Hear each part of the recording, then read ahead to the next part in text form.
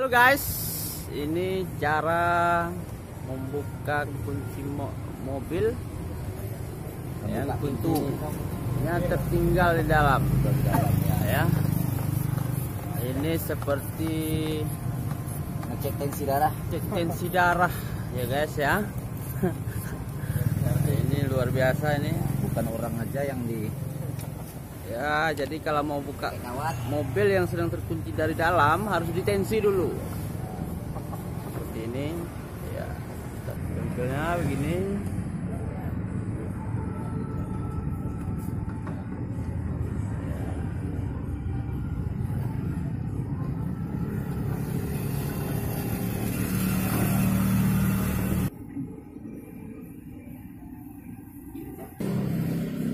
Dirakit dulu karena gagangnya variasi agak licin katanya.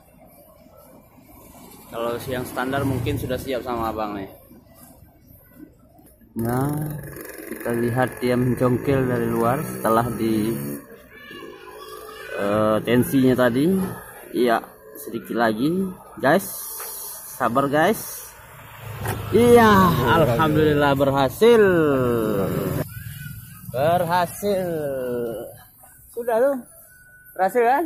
Hasil alhamdulillah